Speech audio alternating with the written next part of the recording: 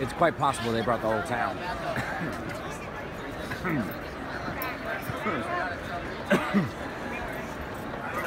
St. Paris Graham, Coach Jordan. I don't know what we need to say other than 18 consecutive team titles. 20 overall.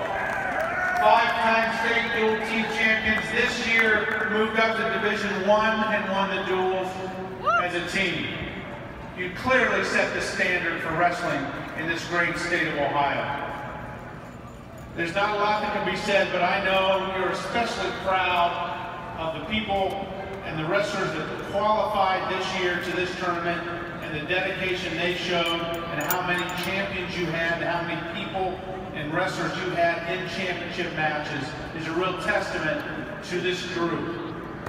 And so it gives me great pleasure again, and I hope I keep doing it, to award you the team championship in Division Two in the individual tournament. Congratulations.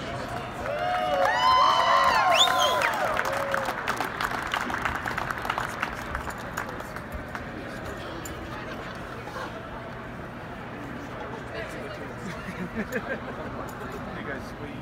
Ooh, pardon me, pardon me, pardon me, pardon me. All right, guys, from here, Good. Got you guys, thank you. Slide down here, guys. We'll take some more.